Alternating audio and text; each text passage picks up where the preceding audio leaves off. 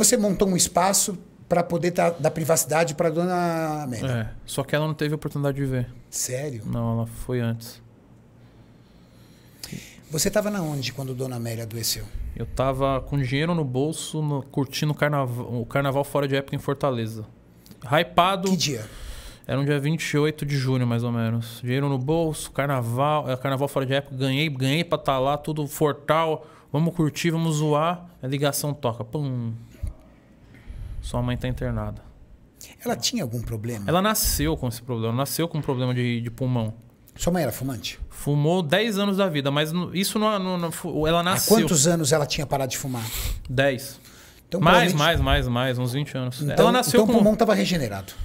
Eu não eu não sou médico pra falar, mas ele regenera, você acha? Porque é um pulmão. Depende muito do, do- depende muito do tempo que ela fumou, de quantos anos ela deixou de fumar e se o pulmão dela era um pulmão sadio. Já era. Não, nunca foi sadio. Um pulmão totalmente problemático, totalmente. Então ela nunca poderia ter fumado. É, mas aí, velho. É a época, meu pai fumou. Naquela época, Era moda, né? era moda. A novela te ensinava a fumar. Porque a- a gal- o galã e a mocinha da novela, a gata da novela e o gatão da novela fumavam. Então era status. Era status. E aí sua mãe, ela. Mas ela reclamava? Porque, cara, a impressão que eu tive é que aconteceu uma coisa de repente. Ela já estava doente? Ela vivia doente por pulmão. Sério? É, E eu sempre incentivava a mãe. Ela gostava de ir no posto de saúde, né, mano? Ela confiava num médico que deu parto. O povo antigo é esse. Se, se for um médico, ela só ia com ele. Então, dava uma crise de. de, de, ri- é, de ela, pneumonia, pneumonia, ela ia por esse cara. O cara dava uns remédios, pum, ah, melhorou. Mas minha mãe passava, tem dia que semana ruim. Ela, Sério. ela não andava direito por causa disso aí. A gente, eu sempre incentivava minha mãe. Eu, eu sou um cara meio desligado mental. Eu sempre, mãe, vamos, eu te ajudo. E, mas eu não ficava lá no pé dela, né? Então isso- eu faria muito com ela nesse sentido. Ela tinha efizema? Cara, efizema pulmonar não manjo, não. Mas ela tinha. Efizema é tipo um. Efizema é tipo um- uma fibrose, é uma incapacidade parcial do pulmão. Não, ela tinha tudo, tudo. Ela deve- deveria ter todas essas paradas aí. Mas ela nunca foi, ela nunca foi um especialista. Eu sempre falei, mãe, Nunca. hoje eu tenho a condição, vai lá, mãe. Inclusive, eu sou muito julgado porque ela, ela, ela morreu num SUS. Sempre cobrei minha mãe, mãe, faz um. Sua mãe não tinha ciência médica? Não tinha, porque eu falava, mãe, vamos. Aí ela passava mal, a gente ia no particular, eu pagava. Então, mãe, vamos, vamos. E na última hora, quem levou ela pro SUS, é uma história até bacana isso, até religiosa. Meu primo levou, ela passou mal, levou o Celtinha, pum, ela foi pro, pro, pro, pro, pro público. Seu primo estava dentro de casa? Tava dentro de casa. Daí ela ligou- tem o cara. áudio dela falando, vem, vem, me- vem me salvar, pum. E levou ela pro hospital particular. Do particular, ela foi direto pra UTI do público. Dali não conseguiu sair. Nisso, era uns 10 dias antes dela morrer, uns 15, eu cheguei no médico. Eu desesperado, pobre louco. O que é mentalidade de pobre louco? Qual que é o melhor hospital para um pobre louco? O Albert Einstein, né? Cheguei no médico falei, mano, vou tirar ela daqui, vou, vou meter macho, pedir ambulância, eu vou levar ela pro Albert Einstein. Se eu não pagar, meu seguidor não faz vaquinha. Tinha 100 mil reais no banco. E eu vou mudar, eu tenho 100 mil, vai dar para pagar, vai dar. Aí o, o médico bateu nas minhas costas e falou, parabéns, você aprendeu o valor do dinheiro, não vale nada aqui. Ele falou, não adianta, eu meu pai morreu com 10 médicos olhando no melhor hospital do mundo. E o, o atendimento que a UTI do SUS tem é melhor, de, não digo melhor, mas é compatível com o atendimento que sua mãe vai ter no Albert Einstein. Então, ora e parabéns, você aprendeu o valor do dinheiro com 30, com 20 e poucos anos, porque a maioria das pessoas aprende o valor do dinheiro velho. E você aprende o valor no hoje. Depois daquilo que minha mãe foi embora, eu aprendi o valor do dinheiro. Nenhum. Diante da saúde, nenhum. Não, de tudo, tiozão. Hoje, meu, eu- hoje eu sou tudo. Antigamente eu me doía dar 100 reais pra alguém. Pô, perdi 100 reais pro cara. Hoje, mano, porra, aliviado. Pô, durmo tranquilo. Dei 100 reais, acabou o problema. Antigamente não doía. Então eu aprendi o valor do dinheiro. Aprendi que não. Dinheiro foi feito para resolver problema. Resolver problema. E gastar, torrar e ajudar pessoas. Naquele momento eu aprendi. Mudou minha vida esse pensamento. Você estava em Fortaleza, pegou o primeiro avião. Primeiro avião. Eu ainda. Mente de louco. Falei, mano, caramba, mãe. E aí vinha o avião inteiro chorando. Caramba, minha mãe tá no TI. Pá. Mas eu, eu, eu não imaginava que ela ia morrer, mano. Também não. Falei, mano, ela vai sair, é uma gripe, ela sempre saiu, ela operou lá. Minha mãe tirou o ovário, eu nem vi. Mulher é, mulher é embaçado. Se ela opera, quem. Se é eu, tô lá chorando o dia inteiro pra alguém me. ela se curava, se fazia curativo sozinha. Não precisava de ninguém. Então ela falou, vai sair dessa. Foi passando 10 dias, 20. Mas mesmo assim, até o final eu achei que ela ia sair. Quanto tempo ela ficou internada? 50 dias sem beber água, tiozão. 50, 50 dias com o tubo na boca, lá se pedindo água e a gente só molhava a boquinha dela com água. Embaçado, mano. Foi uma época que eu mais aprendi. E. Você ia todo dia? Todo dia, duas vezes por dia. Só que ela, ela, ela já entrou não sendo ela. Para quem crê em, em alguma energia, é, ela, ela quis provar alguma coisa para mim que eu pudesse passar para os meus seguidores, porque ela foi embora no meu aniversário, velho. Então é isso que eu não me conformo. Então, mano, cara. é uma data que. No dia do seu aniversário. Hoje é uma data até difícil para você comemorar. Não vou comemorar nunca. Não tem como. No meio do rolê eu posso. Caramba, minha mãe morreu uma brisa, né? Então, é, ela escolheu essa data a dedo, ficou 50 dias ali sem beber água a dedo. E ela, mas ela entrou ali não sendo ela. Acho que ela morreu no primeiro dia, porque o pulmão dela já era zoado. E ela segurou essa data. Ela sofreu pra caramba com o pulmão, cara. Eu não sabia que o órgão pulmão era tão. Importante. E hoje você vê pandemia rolando e pulmão. E hoje eu vejo, caramba, eu sei que tem gente nesse exato momento na UTI se lascando. Eu tava lá no, no. depois ela saiu da UTI, ela foi pra um, pra um quartozinho lá, onde de vira e mexe ela sentia crise de, de, de pulmão. Caramba, feio, era feio. Ficar sem ar é feio. Me diz uma coisa. É, no falecimento da dona Amélia, um outro Toguro nasceu? Eu vi você mudar muito depois. Mudei, aprendi muito. Eu, eu, eu, iniciei o podcast falando que a gente evolui a cada dia, mas ali foi o divisor de águas na minha vida. Eu, pra você ter ideia, eu conquistei. Eu, a gente fala. A gente tende a falar no dinheiro, tende a falar de, de empreendimento, mas o resultado da minha abundância foi isso. Você Mudei virou meio que empresário mesmo. Empresário, virei muita coisa, depois eu aprendi muito. Então, o aprendizado que eu ia ter no final da vida, minha mãe me deu a oportunidade de ter com, na metade dela. Então, eu sou uma outra pessoa hoje. Então, eu errei lá atrás, errei pra caramba, era moleque. Às vezes, a gente faz coisas que a gente não, não, não, não, não, faria hoje. Então, daquele dia para cá, eu sou uma outra pessoa. Sou uma pessoa totalmente diferente. Então, muitas vezes a galera né, cita coisa que aconteceu cinco anos lá atrás para tentar me derrubar. Eu sou uma outra pessoa hoje, galera. Totalmente diferente. A gente evolui a cada segundo. Evolui muito. Então, coisas que eu fiz lá no passado, de dois anos atrás, não faria hoje, nem pensar.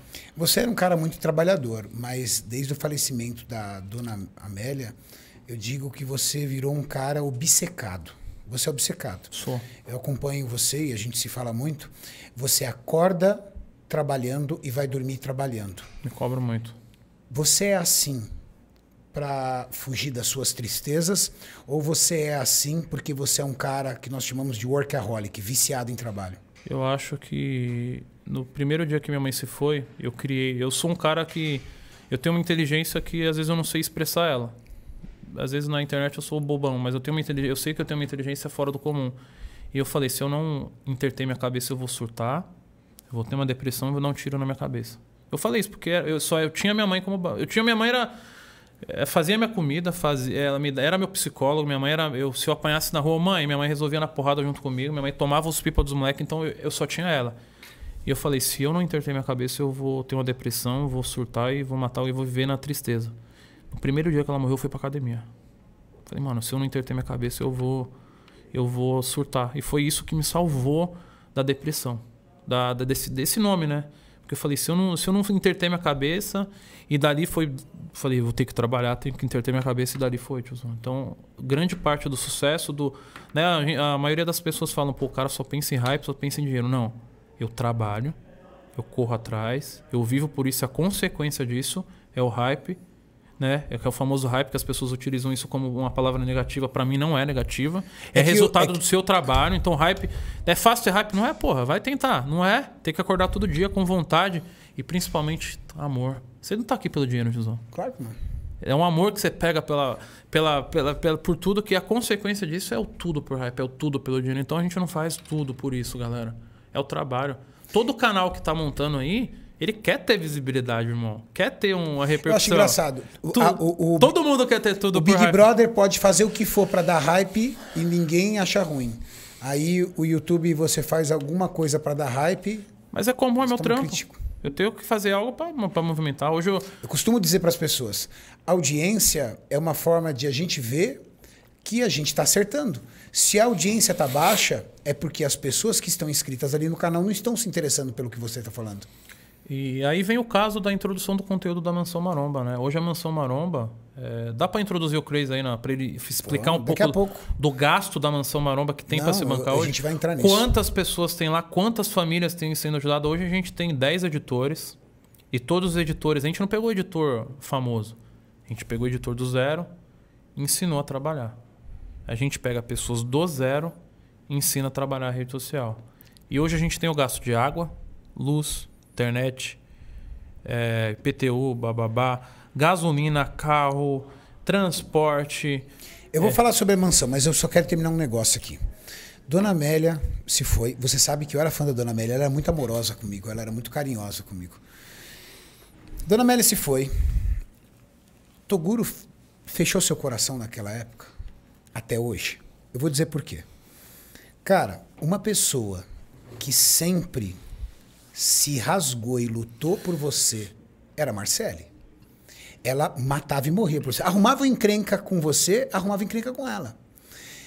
É impressão minha ou desde o falecimento da dona Amélia você fechou seu coração para tudo? Cara, não te vejo falar de namorada, não te vejo você falar, não vejo você falar de relacionamento, não vejo você falar da palavra amor por outra mulher. Será que o seu amor pela dona Amélia apagou esse sentimento? Tiozão quer gerar um corte aí, né, tiozão? Não, é, não. é de coração te falo não, isso. Na realidade... Bom, reconheça que a Marcele sempre foi uma pessoa incrível na tua vida. Reconheça porque Reconheço. eu vi isso. Eu sou por ela também, eu gosto muito dela. Ela Reconheça é presente até isso. hoje, pô. Eu só não posto.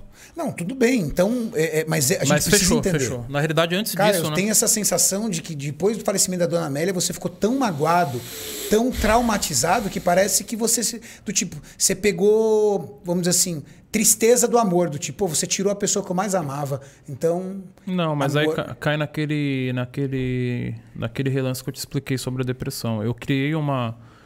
Um, um personagem, né? Um, um, empreendedor que tudo que não me levar aonde eu quero chegar, eu deixo de lado. Não que a Marcele me levava para esse caminho, mas eu me fechei muito uh, amorosamente, amigavelmente. Hoje eu não. Hoje eu não. Não é que eu não tenho amigos, galera. Não é que eu sou um cara. Ah, o cara é chato, não. Eu tô focado, irmão. Então, se for para a gente somar alguma coisa junto, a gente pode criar um, um vínculo. Até fui criticado algum, no, no Flow lá, porque eu falei, cara, eu sou assim. Eu estou vivendo uma parada minha que eu acho que é uma fase que eu tenho que absorver e agarrar ela. Então, se, se eu parar minha mente para não trabalhar, vem um pensamento ruim. Eu acho que se, se eu ficar uma semana sem trampar, acho que. A depressão vai te pegar. Eu acho. Porque de vira e mexe, eu vejo a minha o quarto com a minha mãe ali falou: vamos, vamos trabalhar, que não dá é, tempo. O problema é que você não saiu do lugar. Tô então, lá, vejo todo é dia. Isso que eu não sei se eu conseguiria, velho. Isso é pesado, sabe por quê? Quando eu entro lá, eu sinto a presença da dona Amélia, quanto mais você. Aquele quadro enorme dela, como se estivesse no céu, você, é pesado. Você crê em que, tiozão, em. Eu não tenho nenhuma religião em específico, acredito muito em Deus. Mas Deus muito numa forma de energia também muitas pessoas aí que entendem, que entenderam, que creem em espiritismo, acham que minha mãe não conseguiu achar o. A Tati é espírita. Então depois você perguntou, ela não conseguiu achar o caminho do céu por causa da minha por causa do meu ligamento que eu penso muito nela. Mesmo eu trabalhando ainda com... A Tati diz isso, que você precisa deixar a pessoa embora. Se você não deixar a pessoa embora, ela não consegue ir. E, e, e se tem uma pessoa presente na tua vida, é a Dona Amélia. Mas eu acho que eu conheci minha mãe em vida e se depender dela, ela não vai não. Minha mãe era. Ela, mano, ela matava e morria. Essa era a questão. Eu falhei muito no final da minha vida, coisa que minha mãe não falharia. Ela fazia uma cabaninha lá e, e ficava lá. Mas eu, eu, eu, não era médico, né? Eu, eu, eu, eu tinha um coração gelado e falou: meu, eu não, eu não vou ficar ali porque eu não sou um médico. Mas minha mãe não. Ela seria curandeira, médica, enfermeira, é, segurança. Ela, ela, não sairia ali do hospital. Então eu, eu ia lá, né? Eu via, na UTI você não pode fazer nada com o paciente, né? Mas eu acho que minha mãe ficaria ali, sabe, orando, rezando. É, mandando... é mãe, né? É mãe. Então é, é, é uma moeda que minha mãe que tinha que eu não. Acho que hum, filho algum tem é a troca. Não. Nenhum filho será capaz de ser 20% do que é uma mãe. Não adianta.